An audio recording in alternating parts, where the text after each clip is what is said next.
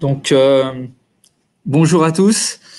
Euh, merci de vous être connectés euh, à ce webinaire sur la solution Teddy S2000M. Donc, je suis Monsieur Benamou Alexandre, product owner de la solution Teddy et aussi expert en ASD S2000M. donc, je vois qu'il y a déjà pas mal de participants, 24 personnes connectées, donc on va pouvoir commencer tout de suite. Avant d'attaquer le sujet, je vais juste vous présenter les onglets chat et questions qui sont à droite euh, de la présentation. Donc, euh, bah, bonjour, bonjour Eric et bonjour Gilles. Euh, donc, effectivement, l'onglet chat, donc si vous avez des problèmes, bonjour à tous. si vous avez des problèmes de connexion ou des problématiques techniques, n'hésitez pas à utiliser cet onglet-là ou pour vous saluer. et vous avez à droite un onglet questions qui va vous permettre de poser des questions techniques ou des questions commerciales ou tout type de questions tout au long de la présentation. Donc, si vous avez des questions euh, sur Teddy ou euh, autre chose, n'hésitez pas à utiliser l'onglet questions. Donc, on va démarrer. On a attendu une petite minute. On va démarrer tout de suite par donc une petite présentation PPT d'abord, donc assez légère, et bien entendu ensuite par une présentation de la solution en elle-même. Donc, euh, si vous voyez bien tous euh, la présentation, on va partir sur le contexte actuel directement de la solution. Donc, pourquoi nous avons créé euh, Teddy? Donc, déjà, avant de vous parler de la solution, effectivement, nous sommes LGM Digital, producteur euh, que ce soit pour les industriels ou formateurs, pour que ce soit les industriels ou les armées, euh, de documentation de ravitaillement avec notamment comme point d'orgue euh, le standard ASD S2000M. Donc en tant que producteur, contrôleur, formateur, nous avons eu besoin d'un outil pour nous accompagner dans tous ces travaux-là et pour ça nous avons créé Teddy puisque nous, rencontrions des difficultés sur quatre points que je vais vous présenter tout de suite. Donc effectivement, le DI, qui est le format d'échange avant la version 6.1 de la 2000M, donc qui est très très peu lisible par les utilisateurs, euh, par contre qui est très compréhensible par les machines et qui sert euh, effectivement d'échange. Donc nous, il nous a fallu un outil pour pouvoir contrôler et modifier les informations liées à ce message. Donc il y a eu au sein de la SDS 2000M euh, une évolution majeure qui, euh, qui s'est effectuée sur la version 6.1 Évolution majeure, pourquoi? Euh, Puisque euh, le standard d'échange, au-delà de la donnée, le standard d'échange qui était l'ADIFACT a évolué au standard XML. Donc, tout comme les autres euh, ASD. D'ailleurs, hein, cette, évolution a été faite dans l'objectif que toutes les versions de, des séries S des ASD utilisent le même standard d'échange. Donc, une problématique aussi sur le contrôle métier. Je ne parle pas du contrôle structure, mais bien du contrôle métier euh, ASD S2000M, hein, un exemple de contrôle métier, c'est si telle donnée est bien renseignée suivant tel projet, tel contexte projet ou telle autre donnée. Donc une donnée s'appelle un TEI en 2000M, j'utiliserai aussi le terme de TEI pour le terme donnée. Et aussi un objectif bien entendu de, coût, de réutilisation, de qualité, euh, notamment avec les informations articles, euh, puisque un article peut être utilisé sur différents points d'emploi de ravitaillement, donc, de, pouvoir euh, réutiliser les articles et donc de réécrire à chaque fois l'article euh, pour un vrai gain en termes de contrôle et de qualité. Donc voilà un petit peu pourquoi nous avons utilisé Teddy. Avant de vous parler de Teddy en lui-même, je vais juste faire un focus assez rapide sur toutes les solutions autour des séries S des ASD, euh, effectivement, puisque nous sommes à la fois producteurs en S2000M, mais nous faisons partie du groupe LGM, hein, euh, donc euh, experts dans toute la continuité des ASD, que ce soit dans l'ASL jusqu'au training. Donc n'hésitez pas, hein, si vous avez aussi des questions, des points sur les autres ASD, à revenir vers moi, je vous dirigerai vers les bonnes personnes sur les contours des autres ASL. Euh, comme la S3000L, hein, donc la S3000M, la production effectivement des données d'analyse du soutien, un petit peu notre donnée d'entrée. Donc nous avons aussi une solution euh, sur ce périmètre-là. Je, je, vous le montre ici, S3000L. euh, qui est Elsa. Donc, euh, n'hésitez pas si vous voulez une présentation sur cette solution euh, de production des données S3000L. Nous avons une solution pour cela. Donc, nous avons Teddy, effectivement, notre solution S2000M dont je vais vous parler aujourd'hui. Nous avons une solution, des solutions S1000D. Alors, nous avons plutôt en termes de S1000D, donc S1000D, c'est tout ce qui est production de la documentation de maintenance, donc les, procédures de maintenance, les modules descriptifs, le catalogue illustré, on reverra, on a un export dans Teddy concernant ce catalogue illustré. Voilà, vraiment toute cette documentation de maintenance donc, et d'utilisation. Donc, LGM Digital a un process de euh, d'autoring et de publication qui se base sur plusieurs solutions. Donc, des solutions de validation, euh, de contrôle de la donnée via euh, Schematron, euh, et via notamment un contrôle de langue avec notre partenaire qui est YesChecker, donc du français rationalisé ou de l'anglais simplifié, par exemple. Nous avons une solution de visualisation de la documentation au format S1000D qui est EVA, voilà, une solution HTML, euh, un IETM de classe 3. Euh, donc n'hésitez pas à nous poser des questions sur cette solution aussi. Donc nous sommes membres du cluster Ship Experience qui développe une solution sur la S-Similité. Donc S-Similité, hein, qui est assez nouvelle, qui est effectivement toute la partie training et les training materials, la gestion de ces training materials euh, au sein des ASD. Du côté 5000 F, donc euh, feedback, le retour d'expérience, nous avons deux solutions, à la fois Cindy et à la fois Mocha, Mocha pardon, qui traitent euh, des retours d'expérience. Hein. Donc Mocha, nous avons une expérience en cours avec la SIMT, euh, sur euh, donc euh, l'équipement de véhicules pour avoir les, les, données terrain et pour pouvoir optimiser justement hein, ces données 3000 et ces données 2000 sur l'expérience terrain.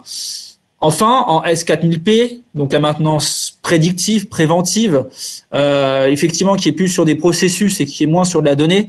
Donc, nous avons plus effectivement des expertises euh, LGM, que ce soit en MSG3, qui reprend un petit peu pas mal de normes euh, déjà précitées, euh, ou que ce soit en S4000P. Donc n'hésitez pas à faire appel à nos procédures.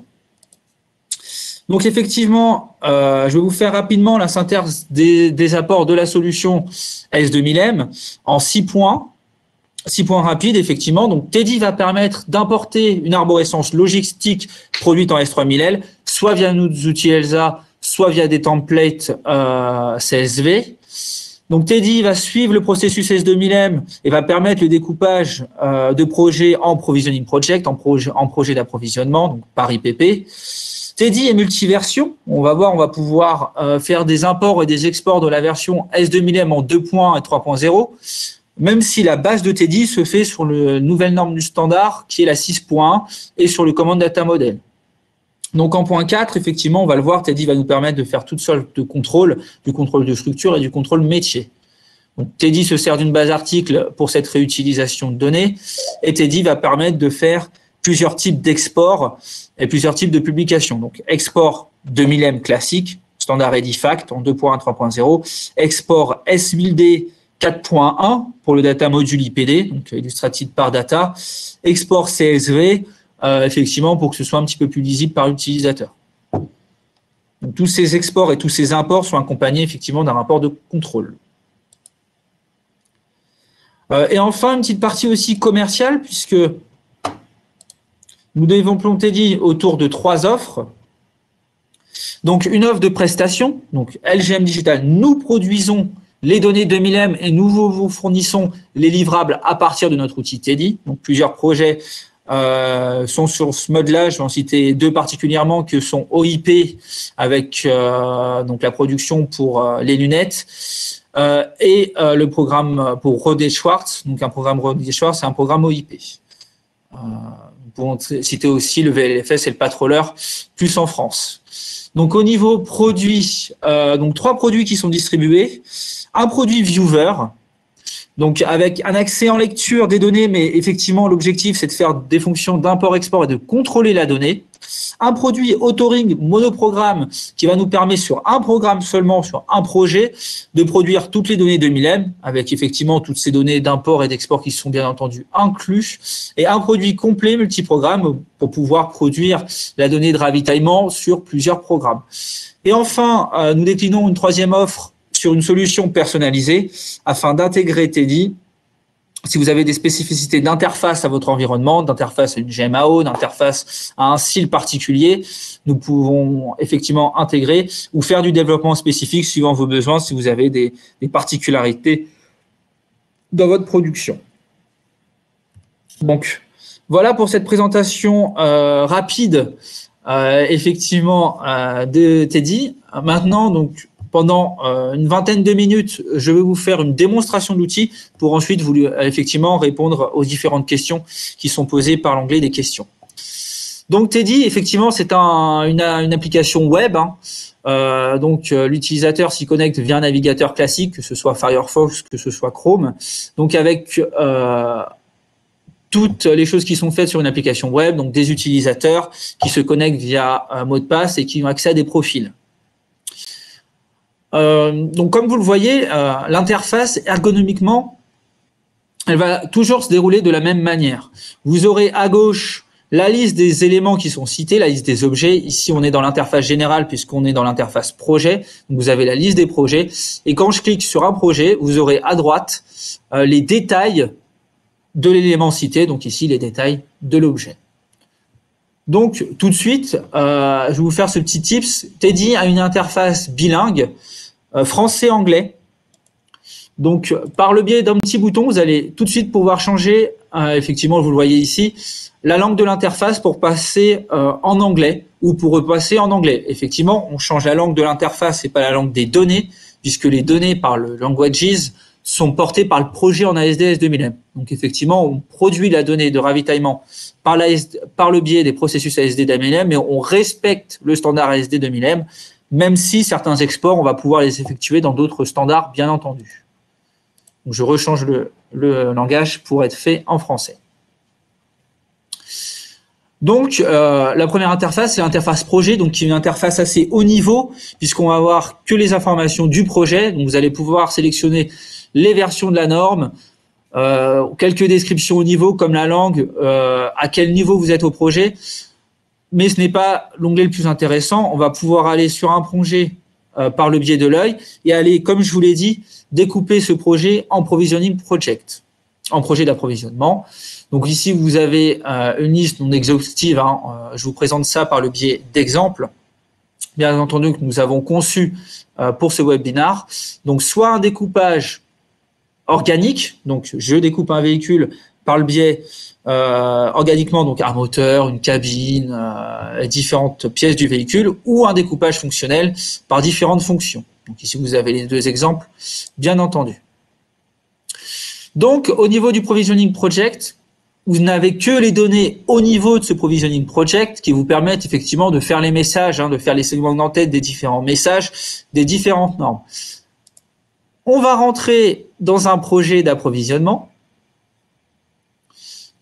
Alors effectivement, on a, je m'excuse, vous avez peut-être un petit peu de latence. Euh, ceci est dû euh, au webinar hein, et à la transmission de flux euh, vidéo, y compris si vous avez des problématiques, je ne le vois pas forcément d'affichage ou c'est peut-être pas très très clair, mais en tout cas c'est dû à la vidéo. Ne vous inquiétez pas, c'est pas du tout dû à l'outil et je me ferai un plaisir de vous faire une présentation plus personnelle de, l'outil euh, sans ces problématiques-là. Donc en tout cas, ici, on vous montre effectivement pour un projet d'approvisionnement l'arborescence de ravitaillement que vous allez produire, qui est vraiment le cœur métier euh, à sa gauche. Donc vous avez déjà une première visualisation de cette arborescence, vous avez la visualisation des premiers niveaux.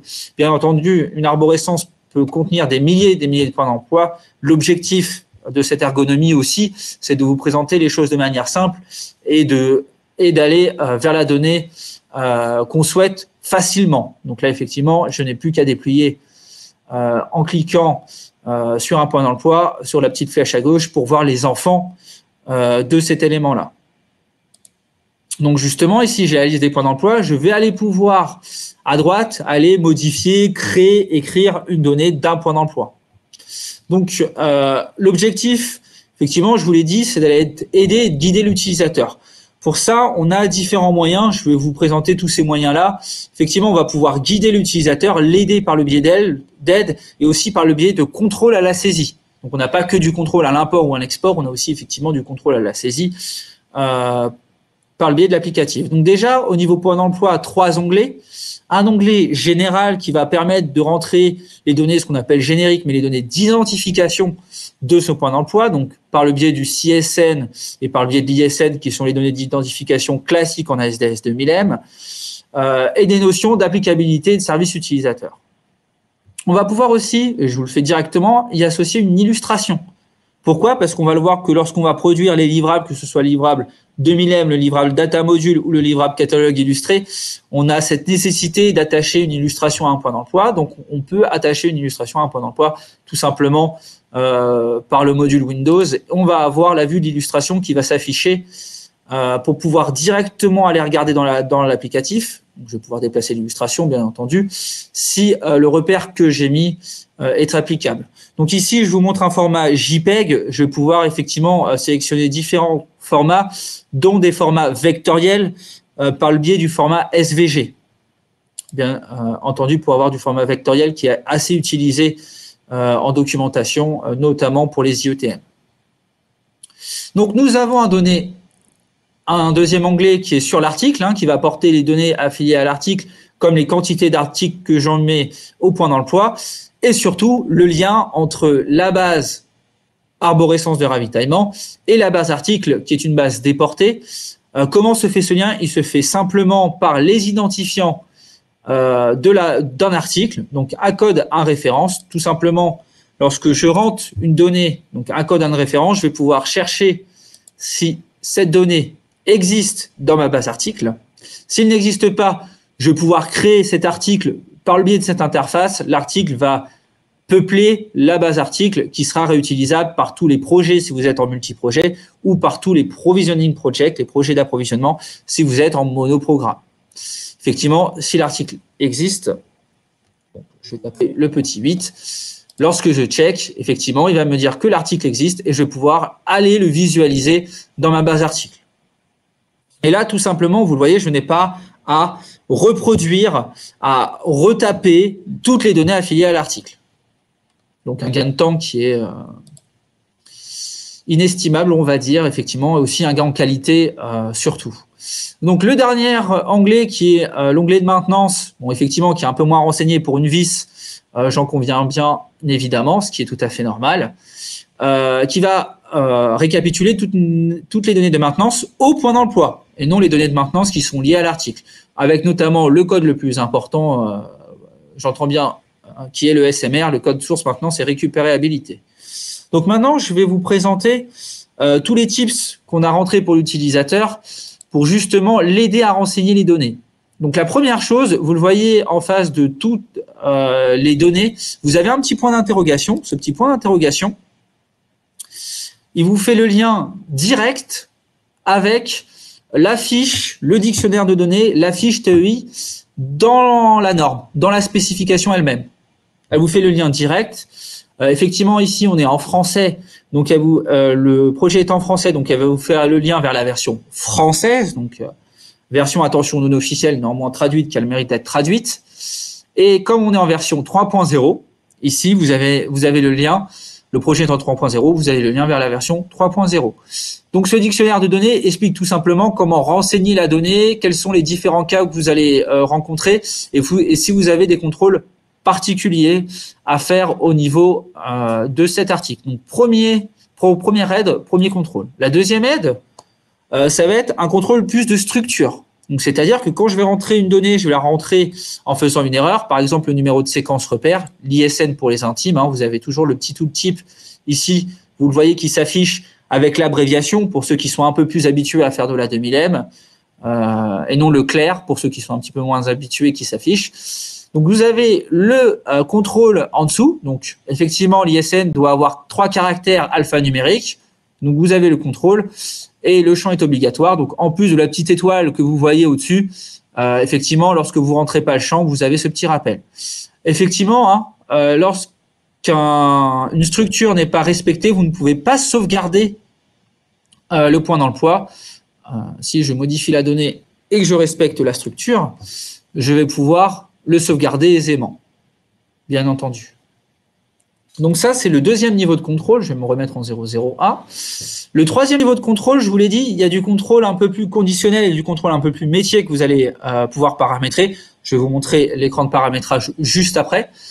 Euh, ça va être un contrôle plus métier. C'est-à-dire que je vais créer une erreur métier au sein de l'applicatif, une erreur qui est standard, hein, qu'on voit assez souvent, qui est euh, une erreur entre le SMR code et la raison du choix. Donc, je vais dire que je vais créer un article qui est non recommandé en rechange, donc la raison du choix, tout simplement pour avoir la structure de l'arborescence. Néanmoins, je vais dire que dans le SMR code, c'est un article de ravitaillement.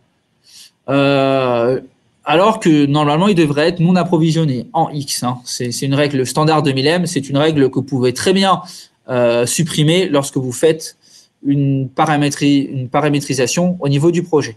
Néanmoins, je crée une erreur et lorsque je vais sauvegarder, effectivement, le logiciel va me dire stop, euh, tu as une liste d'erreurs euh, à checker, toi, utilisateur. Les messages sont des messages en français, nous sommes en version française, sont néanmoins un peu métiers, mais euh, encore une fois, le clair des messages est entièrement modifiable et paramétrable, bien entendu. Le plus important, c'est d'avoir ces contrôles euh, qui pour l'utilisateur. Donc ici, vous le voyez, hein, c'est celui que j'ai créé. Euh, c'est que le champ SMR ne peut valoir que XA, XB ou XCC lorsque le RFS est égal à 0. Donc euh, ne peut être que non procurable lorsque je le déclare non procurable, bien entendu. Donc deux façons de corriger cette erreur-là. Soit je dis que mon article est non approvisionné, et dans ce, et dans ce cas-là, vous le voyez, hein, on, euh, on a euh, des TEI, même le SMR est conditionné par rapport à lui-même. Donc euh, la source change et j'ai le choix que entre trois données sur toutes les données euh, possibles. Donc je peux très bien mettre du XB. Donc si je sauvegarde, j'aurai toujours de l'erreur puisque j'aurai l'autre erreur qui va peupler, mais cette erreur-là va disparaître. L'autre moyen, bien entendu, hein, c'est de mettre effectivement l'article de ravitaillement. Donc lorsque je mets c'est un article de ravitaillement, j'ai les cinq données du SMR qui sont obligatoires, donc je suis obligé de tous les renseigner. Donc, je vais le mettre en PAOZZ non réparable puisque j'ai une vis, bien entendu, ce qui paraît euh, le plus entendu. Et je vais me remettre, donc cette fois-ci, je ne vais pas faire le jure, je vais dire qu'il est endommagé en cours de maintenance. Donc, je vais pouvoir sauvegarder. Et cette fois-ci, quand je sauvegarde, euh, effectivement, j'aurai plus d'erreur qui va apparaître puisque j'ai corrigé l'erreur. Mon article est non endommagé. Bon, excusez-moi. Ici, ça remet en usure à cause euh, de problématiques de flux. Non, endommagé en cours de maintenance, bien entendu. Vous avez revu usure, c'est parce qu'on a un petit problématique de flux, donc euh, de données liées à la vidéo. Donc ça a réaffiché entre temps usure. Évidemment, quand c'est sauvegardé, vous avez la donnée qui est mise à jour par l'applicatif, comme tout applicatif. Donc endommagé en cours de maintenance, donc plus d'erreur puisque c'est un rechange et il fait l'objet du bon SMR. Donc, comme je vous l'ai dit, on va pouvoir paramétrer par projet ces contrôles-là. Alors, quand vous êtes sur le monoprogramme, bien entendu, vous êtes sur un programme, donc vous avez un seul programme à personnaliser, donc vous aurez un seul guidance à personnaliser pour le produit monoprogramme. Donc, on va pouvoir aller sur la liste des guidances. Donc, je vais vous en montrer un qu'on utilise, donc qui va se peupler tout de suite. Euh, pour un projet à nous, donc un, projet réel qui est le Rodé Schwartz. Il est un peu plus complet. Ici, je n'ai pas mis toutes les données du projet, bien entendu, pour la démonstration. Donc, on va pouvoir, euh, par données, par TEI, qui est la notion de données en 2000M, dire, faire plusieurs contrôles, dire si la donnée est interdite ou non. Donc ici, le code hasard, euh, vous ne pourrez pas la rentrer, elle vous sera pas affichée lorsque vous allez rentrer la donnée. Et lorsque vous allez faire l'import de données ou l'export de données, vous aurez un contrôle qui vous dira, bien entendu, attention, le code hasard est interdit. Donc, on va pouvoir sélectionner si une donnée est unique et mettre la valeur de cette donnée unique. Si on veut avoir des valeurs multiples euh, sur une telle donnée, à l'affichage, vous aurez, comme je vous l'ai montré, une liste euh, à sélectionner et pas plusieurs données à pouvoir rentrer. On va pouvoir euh, jouer sur le format de la donnée. Si on veut de l'alpha numérique, ou que de l'alpha. Donc ici, A à Z, ce n'est que de l'alpha avec l'autorisation des tirés. Euh, et euh, la taille de la donnée, 40, 50, 60 caractères pour la DFL et la DFP. Donc tout cela pour tous les TEI euh, portés par la SDS 2000M. Il y en a un autre, effectivement, que je vous montre pas, qui est la condition. On va pouvoir dire tel TEI a telle valeur ou existe, si et seulement si tel TEI est renseigné ou pas, suivant telle valeur de tel TEI C'est par exemple le cas du, du RFS que je vous ai montré. Si le SMR doit commencer par X, si le RFS égale 0. Voilà, c'est une condition basique en 2000M, c'est quelque chose qu'on va pouvoir paramétrer. Deux autres paramétrages qu'on va pouvoir effectuer par le biais du guidance, qui sont un peu moins lourds, mais c'est l'existence de certains segments. Alors, quand on fait de l'edifact, euh, effectivement, le message qu'on édite euh, par le biais de la 2000M, c'est un visage qui est divisé en segments un message qui est divisé en segments. Donc, on va pouvoir jouer sur l'existence ou non de certains segments. Ici, les segments GH et GPS qui sont les segments illustration. On va aussi pouvoir jouer sur, sur différentes balises 1000D. Pourquoi 1000D Parce qu'on fait l'export du data module S1000D. Donc, on va pouvoir dire bah, telle valeur de telle euh, balise de l'export data module S1000D vont devoir avoir telle valeur. Donc FR, par exemple, pour la langue, et, France pour la partie country son code. Donc voilà un petit peu pour cet onglet de paramétrage. Donc on a vu comment on, on peuplait un CSN. Euh, je vais vous montrer un petit peu l'onglet base article. Donc l'onglet base article, comme je vous l'ai dit, c'est un onglet complètement indépendant. La base article est indépendante de l'onglet CSN et on peuple l'article et on lit l'article par le CSN tout simplement en, renseignant le code et la référence fournisseur comme je vous l'ai montré précédemment. Un article, là je vous montre un exemple effectivement en mettant mon nom hein, bien entendu, euh, va, porter toutes les données euh, de Milem et de ravitaillement par cet article. Donc dans l'onglet général, les onglets d'identifiant ainsi que toutes les données autant, l'article, donc le, NNO, son code DNO, sa description et toutes les données autant, vous avez exactement euh, les mêmes aides à l'utilisateur, donc euh, le lien vers, euh, vers la norme pour chaque, pour TEI, bien entendu. Lorsque vous avez des données longues, hop, c'est un petit peu long, tant pis. Voilà, vous avez effectivement la liste, vous allez toujours pouvoir faire de la recherche. Hein. On a effectivement, je ne le présente pas en détail, mais lorsque vous avez des listes longues, pouvez très bien aller rechercher juste une valeur ou des éléments dans la, description pour pouvoir afficher la recherche. Et lorsque vous avez des, des, échelons, par le petit tooltip, vous avez le nom intégral de la ligne qui s'affiche. Donc ici, identification commerciale complète pour aider l'utilisateur à rentrer la bonne donnée. Effectivement, si je mets 1, à l'interface, je vais avoir que l'identification partielle qui va s'afficher euh, et non plus les autres codes. Voilà tout simplement pour cette petite aide. Donc on a aussi les onglets logistique, avec toutes les données logistiques de l'article, donc à la fois son type d'article, certaines données euh, de fourniture, les quantités, euh, les quantités par emballage, les durées de vie de l'article euh, et les codes niveau d'emballage, surtout aussi les données de dimension et les données de poids. Euh, au niveau de ces données logistiques, vous avez les données de maintenance, attention, les données de maintenance propres à l'article, donc indépendantes du point d'emploi, suivant la norme ASDS 2000M, bien entendu. Euh, donc la durée de vie en la durée de vie en utilisation, les intervalles entre révision générale et d'autres euh, indicateurs de maintenance, et données, enfin les données commerciaux, données commerciales euh, sur les articles, donc les quantités avec les tarifs associés et la possibilité d'y mettre une grille tarifaire, hein, la grille tarifaire qui va pouvoir être échangée euh, si vous connaissez un petit peu la SDS 2000M, lors du chapitre 2, euh, donc euh, catalogue d'articles ou unitairement article par article. Donc voilà un petit peu pour ces interfaces, un petit peu pour renseigner la donnée, la renseigner, la contrôler. effectivement, on va pouvoir faire de l'import et de l'export maintenant. Donc je vais vous montrer le gestionnaire de tâches pour faire, qui va récapituler pour l'utilisateur tous les imports et tous les exports qui sont effectués. Le profil administrateur, lui, va pouvoir avoir accès à tous les imports et exports euh, qui sont effectués par tous les utilisateurs, bien entendu. Donc, comment se présente euh, ce gestionnaire de tâches?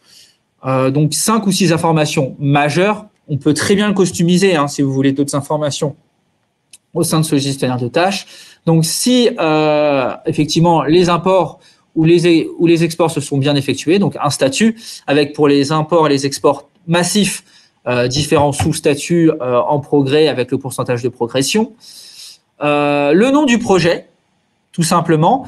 Donc le fichier source, donc le nom du fichier source si on est en import, le nom du fichier exporté si on est en export, le type si on fait de l'import ou de l'export, le format de données, donc tout simplement si on fait un, un export euh, ou un import euh, standardisé EDI pour Edifact, XML pour S1000D, euh, Excel, si on fait un template CSV, on a vu arborescence logistique, ou tout simplement on peut aussi exporter la donnée de ravitaillement au format Excel pour certaines modifications par certains utilisateurs et une certaine lisibilité, le pourcentage de progression, la date de démarrage, et le plus important, effectivement, l'accès au fichier et le rapport.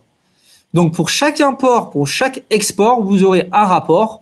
Donc je vais vous en ouvrir un sur le projet que je vous ai montré ou sur un autre projet si j'ai pas fait d'import ou d'export. Donc je vais prendre le Radio Benalat. Donc je vais pas forcément vous montrer beaucoup de lignes, bien entendu, juste rapidement vous parcourir les lignes. Donc Excel s'ouvre. Effectivement, encore une fois, c'est un petit peu long à cause du flux. Donc l'outil est un peu plus rapide qu'Excel. Euh, donc ici, bon, deux erreurs. Effectivement, un fichier pas très important. C'est justement juste pour vous en montrer euh, le format du fichier et par toutes les erreurs. Euh, donc vous aurez toujours le nom du fichier, la ligne concernée, donc la ligne Excel si c'est du Excel ou la ligne de l'Edifact ou la ligne du, du XML, la catégorie de l'erreur ou et bien effectivement le plus important qui est la description de l'erreur qui est paramétrable comme on l'a vu précédemment. Donc ici une erreur sur le champ TQL, hein, une autre erreur un peu plus conditionnelle, euh, mais néanmoins une erreur de structure. Euh, tant mieux pour euh, effectivement ici ça vient d'un import qui a été réexporté derrière. Donc entre le QNA et, le TQL. Donc ce projet étant un projet international en anglais, euh, vous avez le format d'erreur qui, lui, euh, est en anglais, bien entendu. Donc, comme je vous disais, je vous le montre aussi, vous avez la langue euh, qui s'adapte au projet, bien entendu. Donc, pour mon MRAP, bah, je vais vous montrer le fichier EDI qui a été produit par ce qui a été renseigné par les utilisateurs, qui est tout simplement une concaténation hein, sur un format spécifique, ici le format 2000M, des données qu'on a renseignées à, l'écran. Donc ici, effectivement, qui est un petit peu illisible, mais qui est le format ultra standard, la sortie qui est attendue avant la 6 points de la SDS 2000M. Donc, je vous ai montré un petit peu ce format ODI. Comme je vous l'ai dit, on a un format aussi XML. Donc, je ne vais pas vous présenter la donnée, euh, mais je vais juste euh, vous présenter le principe euh, avec les données d'en-tête. Donc, Hop, mon petit zip s'ouvre. Donc effectivement, hein, on remplit euh, la ligne pour un IPP, mais entre le format, le standard 2000M et le standard 1000D, euh, l'export au standard 1000D se fait au SNS, l'export au, standard 2000M se fait à l'IPP. Donc pour une IPP que vous avez renseigné, vous allez avoir N1 ou N export suivant euh, le guidance 1000D que vous avez effectué. Euh, donc, je vais juste vous en ouvrir un. Donc, effectivement, le temps qui s'ouvre avec mon Notepad++. Voilà, donc je ne vais pas vous présenter de la donnée, je vais rester sur, sur l'entête. Mais comme vous voyez, voilà, c'est vraiment euh, l'AS1000D avec le format XML euh, ultra classique. Euh, pour ceux qui connaissent, donc du XML avec voilà tous les codes euh, nécessaires est suffisant pour que ce soit lu euh, notamment par euh, notre IETM EVA pour présenter la donnée HTML et pour que ce soit livré à un client. Donc effectivement, en version 4.1 pour ce projet-ci. Voilà un petit peu pour cette présentation rapide. Le temps tourne, il est déjà 35. Je vais juste vous présenter le dernier export avant de passer à la phase de questions. réponse, donc une petite dizaine de minutes jusqu'à 45. Donc, comment on fait un export? On va pouvoir sélectionner différents niveaux d'export. Donc, le niveau projet, le niveau projet d'approvisionnement ou faire des exports tout simplement sur la base article si on veut exporter toutes les données articles de la base article, donc un petit peu, un petit peu plus au format alors. Donc, par projet d'approvisionnement, il va avoir différents formats d'export. Les formats standards, donc le CSNIPD, euh, EDI pour euh, les données d'approvisionnement initiaux, vous avez, exactement la même chose du c'était un peu plus loin pour les mises à jour. Format Excel, comme je vous l'ai dit, pour que ce soit lisible par, l'utilisateur. Euh, DMIPD ce que je vous ai montré, et effectivement aussi le, standard catalogue illustré, donc qui est plus un PDF qui sera lisible pour l'utilisateur. Donc je vais prendre un autre projet cette fois-ci, par exemple la 400M, 265001, et je vais vous faire l'export. Donc très très rapide l'export. Pourquoi? Parce que tout simplement, euh, ce n'est encore une fois qu'une réorganisation de la donnée. Euh, donc vous avez l'illustration qui a été attachée au niveau du point d'emploi, au niveau du CSN avec les repères affiliés et les données de nomenclature qui sont effectivement à droite. Ici dans un format euh, un peu plus MAT 10 000 pour ceux qui connaissent un petit peu la MAT 10 000 euh, comme format d'export. Bien entendu, ce format d'export euh, peut être paramétré suivant le projet. je ne vais pas plus me balader dans la donnée, bien entendu, ce n'est pas le but ici. Donc voilà un petit peu pour cette présentation euh, générale de Teddy. Effectivement, on a plus d'écrans, on a l'écran d'administration qui permet de, de paramétrer euh, les profils et les rôles. On a aussi un écran que je vais vous montrer très très rapidement qui permet d'avoir la liste des organisations, donc les fameux euh, MFC et PNR, euh, dont je vous parlais, donc la partie MFC, le catch code, puisqu'on fait des imports-exports réguliers et lorsqu'on vous paramètre l'outil, vous avez déjà euh, cette liste, par exemple, je vais prendre le premier qui s'affiche, mais cette liste des différents fournisseurs avec toutes les informations génériques portées par l'OTAN sur ce fournisseur. S'il est organisme, par exemple, s'il est organisme fabricant ou organisme distributeur, son adresse, le téléphone et un point de contact. Voilà un petit peu pour, pour la présentation de l'outil, effectivement, hein, une présentation assez rapide, mais en tout cas, euh, j'espère euh, vous avoir montré euh, toutes les fonctionnalités les plus intéressantes de l'outil. Bien entendu, je ne peux pas tout vous montrer en une vingtaine de minutes. Je serai ravi de vous montrer cela dans un point dédié, donc n'hésitez pas à me contacter. je remets la présentation, tout simplement. Pourquoi? Parce que je vous affiche les contacts. donc trois contacts, moi-même. N'hésitez pas à prendre mon mail ou mes numéros de téléphone. Euh, je me tiens disponible à votre disposition pour répondre à vos questions si vous avez des questions que vous voulez me poser directement ou pour vous faire une présentation euh, plus spécifique et plus complète par la suite. Euh, de contact euh, aussi, donc Madame Michaud, Madame Émilie Michaud, qui est notre responsable secteur défense aéronautique, qui va pouvoir répondre à vos questions et à d'autres questions sur les autres euh, standards si vous en avez, et, et, aussi sur notre expertise bien entendu. Et Monsieur Henri Milischer, qui est notre administrateur de ce webinar, qui est notre business developer, donc euh, à la fois partie doc, donc documentation, surtout le spectre de la documentation, et la partie training aussi. Si vous avez des questions sur les formations ou des questions training, n'hésitez pas à le contacter.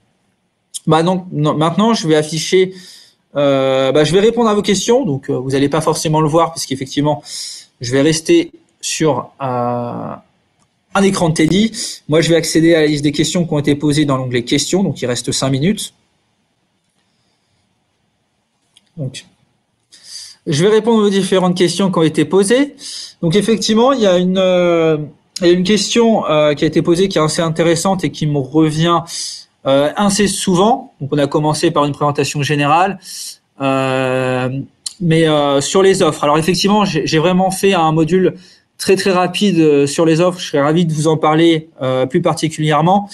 Euh, donc, euh, on installe, puisque je vois que la question porte sur euh, l'installation, si on est en SaaS ou on-premise, donc si on fait l'installation chez le client ou euh, si on a, on garde le serveur chez nous, on propose les deux modes de, de solution. Hein. On peut héberger la partie serveur ou on peut l'installer chez vous. que vous que vous preniez la version viewer ou les versions authoring, bien entendu. Donc à la fois en mode SaaS à la fois en mode euh, licence annuelle. Euh, une autre question, euh, donc effectivement, on vous accompagne. ce n'est pas parce que on n'est pas en solution personnalisée qu'on vous accompagne pas lorsqu'on vous installe l'une des versions cœur de l'outil, que ce soit la version monoprogramme ou viewer. Hein. Cette, installation, donc cette licence, elle peut très bien être accompagnée d'une formation ou être, être accompagné, bien entendu, euh, d'une installation, euh, d'aide, euh, effectivement. Hein.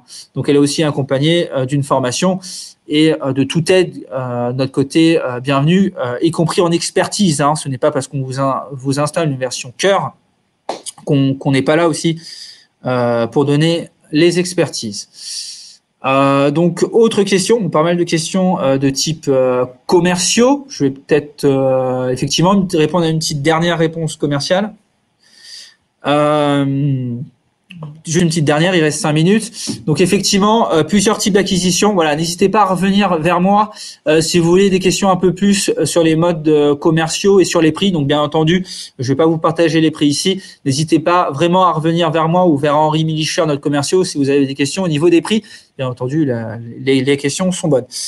au niveau un peu plus technique de Milem sur l'applicatif, le temps passe. Euh, j'ai une question de Monsieur Diaz. Donc, au-delà des, catalogues type IPD, peut-on paramétrer Donc, c'est la dernière qui vient de popper, mais je vais commencer par celle-ci. Peut-on paramétrer des catalogues de type commercial? Bien entendu, euh, je vous, je vous l'ai dit. Hein, euh, je vous ai montré un export standard. on peut paramétrer des catalogues commerciaux. Nous avons les notions de prix qui sont affichées hein, par article. On peut très bien donner ces données prix. Ici, je vous ai donné, je vous ai montré les données les plus directes, qui sont les données NNO, qui sont généralement ceux qui sont euh, sortis au catalogue, on peut très bien sortir les données prix et sortir des catalogues commerciaux puisque les données prix sont présentes dans l'applicatif, bien entendu. Oui, euh, l'autre question qui vient de peper, bon, bah, je réponds aux dernières questions. Oui, Teddy permet de travailler sur un fichier Excel exporté et permet aussi de réimporter euh, dans Teddy. Euh, vous avez les imports-exports à la fois euh, Excel, mais vous pouvez très bien travailler dans un DMIPD. Vous pouvez aussi très bien, si vous êtes euh, comme toi Bernard, comme comme toi Bernard Pierre, excuse-moi, évidemment un expert de Milem, travailler sur le DI directement, l'importer, le réexporter, bien entendu. alors, est-il prévu que Teddy ait un propre site web et en anglais comme pour Elsa? Euh, merci Eric pour, euh, pour la question. Alors bien entendu, euh, les sites web LGM et LGM Digital sont en cours de redéploiement. Donc Teddy aura un petit peu plus tard, effectivement, soit par le biais du site LGM Digital ou soit par le biais d'un propre site, vous aurez de toute façon une page dédiée sur Teddy en anglais, en français et en anglais, bien entendu, comme la plaquette commerciale qui est en anglais et en français, comme toutes les présentations qui sont en anglais et en français. Effectivement. Donc il reste trois minutes, hein, je, passe rapidement les questions. Donc effectivement, euh, une question qu'on me pose souvent euh, sur euh, la base de données articles. Donc on peut rajouter, je vois, des attributs qui sont propres. Je l'ai redit en formation. Effectivement, ici, on vous a affiché les attributs par la 2000 mais si vous avez des attributs de gestion interne que vous voulez faire afficher dans l'outil, Bien entendu qu'on peut aller au niveau article, rajouter des identifiants de référence euh, interne chez vous que vous utilisez par exemple en, en GMAO euh, ou autre. Hein. Donc on peut personnaliser euh, les, les, données. Euh, effectivement, parce que je vois que la question apparaît, que ce soit euh, les données d'identifiants, donc des, des, des identifiants de gestion. Je vais répondre plus en général. Je vois que la, question apparaît pour les données euh, de description, avoir la description un petit peu aussi en anglais, avoir, avoir des descriptions un petit peu plus euh, internes. Oui, vous pouvez très bien, on peut très bien ajouter aussi des descriptions, euh, que ce soit au niveau article ou même au niveau du point d'emploi. Bien entendu, vous avez la description, le DFP, la description de l'article et la DFL. On peut très bien rajouter des données de description, des données d'identifiant, ou même d'autres données. Hein. Euh, effectivement, euh, les codes SH, hein, les codes douaniers, on peut très bien les rajouter à l'outil. Effectivement, là, il prend le prisme de l'ASD S2000M. Donc, euh, bah, une petite question qui vient de peuper. Allez, je vais aller répondre tout de suite pour cette dernière minute. Comment fonctionne la base article en multilangue et nombre de langues possibles de gérer?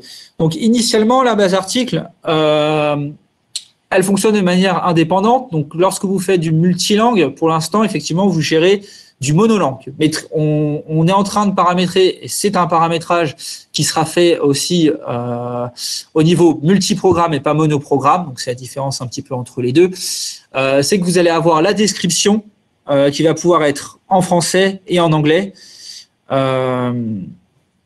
au niveau de la base article. Donc pour l'instant, français anglais qui sont paramétrés au niveau de l'applicatif. Voilà, deux langues, français, anglais. Les autres langues, ce sera plutôt en personnalisé, euh, surtout les langues type arabe qui sont euh, un peu plus difficiles à gérer au niveau application. oui, Teddy, alors, une question qui a été posée aussi il y a quelques secondes. Teddy permet de créer un IPPN à partir de l'import d'un message EDI CSN IPD. Bien entendu, donc vous, importez le CSNIPD et ça vous crée l'arborescence que je vous ai montré. Ça vous et vous avez accès au contrôle que vous avez paramétré au niveau du projet. Euh, je vous ai montré le rapport de contrôle et le rapport d'erreur. Voilà.